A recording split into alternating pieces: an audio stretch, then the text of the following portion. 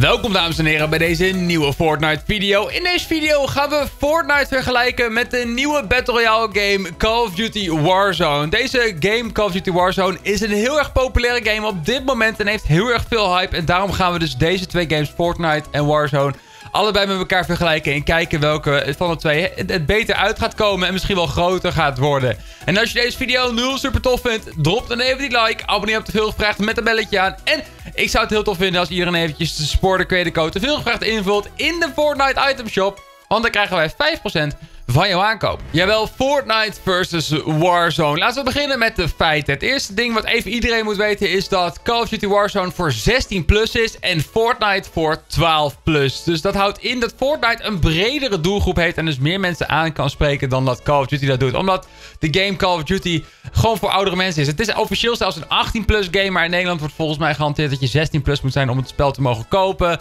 Uh, maar wordt aangeraden om zelfs 18 plus te zijn. Dus dat, even dat je dat weet. Dus de doelgroep van Warzone is kleiner. Uh, verder is het ook een feit dat Warzone en Fortnite allebei gratis zijn. Call of Duty Modern Warfare is trouwens niet gratis. Maar de game mode Warzone zelf, dat is een game mode in Call of Duty Modern Warfare, die is wel gratis. En ja, dat is wel heel erg vet. Dat hebben we niet vaak gezien bij AAA games. Want voor Call of Duty is een AAA game. Call of Duty Modern Warfare. Uh, en we zien dus niet vaak dat dit soort dingen gratis worden gemaakt. En dat is het dus wel. Daarnaast moet iedereen ook even weten dat Call of Duty Warzone net uit is gekomen. Dus daarom heeft hij enorm veel hype.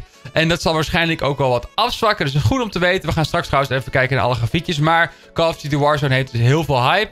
En wat ook goed is om te weten is dat Fortnite nu in een heel erge dip zit. Uh, niet op het laagste punt ooit, maar het zit in ieder geval niet op een heel hoog punt. Er gebeurt namelijk niet heel erg veel in Fortnite. Oké, laten we nou eens eventjes gaan kijken dus met deze kennis naar de grafieken. We gaan op het laatst natuurlijk nog een conclusie doen. We gaan nu hard kijken naar de feiten. En dan ga ik misschien ook een paar kleine conclusies trekken. Ik kan niks beloven. Laten we gewoon beginnen bij Twitch. We gaan zo meteen pas naar de Google Trends. Want ja, dat vond ik wel leuk om die even om te draaien. Want dat gaf wel een leuk perspectief. Uh, maar we gaan kijken naar Twitch. Wat is er allemaal gaande bij Twitch? Laten we eens kijken naar de viewers. Uh, die dus iedere, uh, game krijgt. Uh, je ziet nu een grafiek in beeld. En hier zie je dus de groene lijn is Call of Duty. En de blauwe slash paarse lijn is Fortnite. En dit is hoeveel views er in totaal over wereldwijd er komen per game. Dan zien we heel duidelijk dat Call of Duty daar in de eerste dag... of Call of Duty Modern Warfare, dat, dat is wat er staat. Maar uh, dit komt door War, Warzone natuurlijk. Dan zie je dat als Warzone uitkomt er een enorme piek is in viewers. En je ziet al later dat die pieken steeds iets lager worden. Dus dit, hier is duidelijk sprake van een hype. En dan zien we bij, uh, bij Fortnite, die is duidelijk... Uh, ja, best wel, uh, best wel stabiel. En je ziet later zelfs dat hij iets omhoog gaat. Dat komt natuurlijk door het coronavirus. Ik wil er niet heel veel over hebben in deze video. Maar dat komt natuurlijk door het coronavirus. Omdat er... En het is weekend daar trouwens. Dat is ook wel even goed om te weten. Dus we gaan ook zien dat daar waarschijnlijk een lichtelijke... Uh, dat er ook iets meer kijkers gaan komen.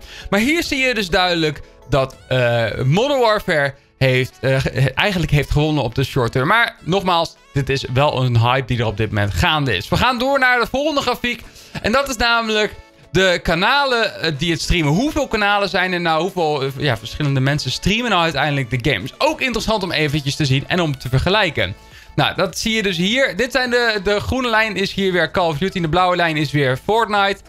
En hier zie je dus dat er ook weer uh, meteen een piek is van heel veel kanalen die Call of Duty streamen. Maar het is, het is wel een minder uh, hoge piek.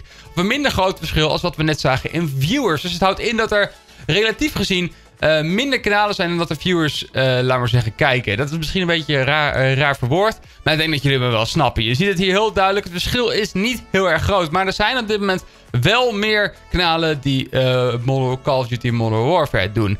Conclusie die we weer uit kunnen trekken. Niet heel erg veel. Alhoewel het is wel even leuk om dit te vergelijken met de vorige grafiek. want ja, gemiddeld gezien hebben dus, heeft één kanaal dus meer viewers. Uh, als het goed is in ieder geval. Laten we nog naar de volgende Twitch grafiek. En dit zijn de Nederlandse statistieken. En die zijn ook heel erg bijzonder. Dat is namelijk deze, of niet eens een grafiek, het zijn meer gewoon feiten. Dit is over een week gepakt. En hier zie je dat uh, Call of Duty Modern Warfare meer watchtime heeft. Dus er wordt meer bekeken in uren. Dus wordt langer naar gekeken.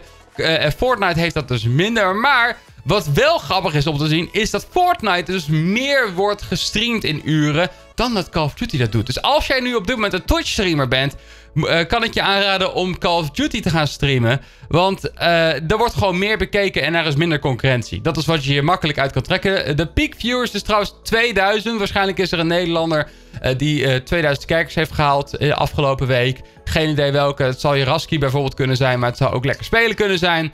Maar je ziet hier dus heel duidelijk, en dat is zeker weten interessant, dat er dus minder mensen streamen, maar dat er dus meer, bijna, nee, er wordt twee keer zoveel uh, bekeken dan Fortnite. Dus dat is wel interessant om te zien. Dus laten we doorgaan naar Google Trends. Op Google Trends kan je zien hoeveel er gezocht wordt op een bepaald woord. Dus ja, hou dat even in je achterhoofd. Dit is niet hoeveel views iets krijgt, maar echt hoe vaak er wordt gezocht op een bepaald trefwoord. Dus laten we beginnen bij de Google zoekopdracht. Hoe vaak wordt er nou op Google of naar Warzone gezocht of naar Fortnite? Ik heb expres niet Call of Duty Warzone gedaan, want ja, daar wordt niet heel veel op gezocht. Uh, dus ik heb echt Warzone en Fortnite gedaan. En daar zie je toch, dat dit is trouwens de grafiek, daar zie je toch duidelijk dat uh, Call of Duty Warzone bij de release toch eventjes overheen is gesprongen. Trouwens, uh, Warzone is de rode lijn en Fortnite de blauwe lijn. Maar later zie je dus dat uh, Fortnite daar weer iets overheen gaat. En je ziet dus dat het best wel gelijk loopt. We kunnen hier nog niet heel veel over zeggen. Want dit is uh, op een hele korte termijn. Als ik hem trouwens op 7 dagen zet, dan wordt het een beetje een rare grafiek. Dus die heb ik er niet bij gepakt. Maar hier zie je toch wel dat het vrij gelijk loopt. Maar dit is, uh, nu komt het alle aparte. Dit is de reden waarom ik deze grafiek als laatste heb bewaard. Namelijk de YouTube zoekopdrachten. Hoe vaak wordt Fortnite of uh, Warzone nou opgezocht op YouTube? Ja, en daar zien we toch wel iets bijzonders. Laten we eens even kijken. Dit is de grafiek. Hier zie je weer rode lijn is Warzone. Blauwe lijn is Fortnite. En hier zien we gewoon dat Warzone gewoon uh, vergeleken met Fortnite bijna niet uh, wordt opgezocht. En dit is toch iets wat ik wel vaker heb gezien. Je hebt bijvoorbeeld ook Escape from Tarkov gehad. Ook een hype game op Twitch. Je had heel veel traffic. Maar je ziet gewoon dat op YouTube dit soort games of niet heel veel worden... Of nee, ze worden gewoon niet gezocht. Simpel als net. Warzone wordt gewoon niet veel gezocht door de kijkers. Dus blijkbaar is er geen interesse voor. En voor de mensen die zich afvragen... waarom wordt Warzone dan niet veel geüpload door YouTubers... en ook bijvoorbeeld door ons niet... Dat komt door, de, door dit dus. Er wordt gewoon niet naar gezocht, waardoor er waarschijnlijk weinig wordt bekeken. Er zijn maar een heel klein specifiek aantal YouTubers die dit kunnen maar uploaden en veel weergave kunnen krijgen. Bijvoorbeeld Game Meneer en Enzo Knol. Uh, en misschien uh, andere YouTubers ook nog wel.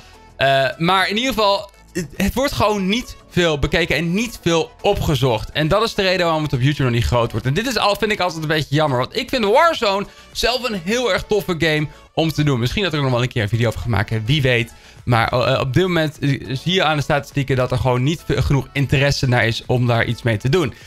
Maar ja, dit is dus heel interessant. Dit is de enige grafiek die compleet tegen de trend ingaat. Want we zagen natuurlijk op Twitch dat, dat eigenlijk Warzone het voordeel heeft, ondanks de hype.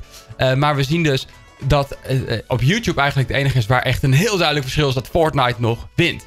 Nou, laten we doorgaan naar de conclusie. Uh, de conclusie van het hele verhaal is Fortnite is nog niet verslagen. Fortnite die heeft natuurlijk eigenlijk zijn hype al gehad en zit nu eigenlijk op een soort van plateau. Daalt af en toe nog een beetje, gaat misschien nog wel een beetje dalen, maar kan zeker weten ook nog wel wat gaan pieken.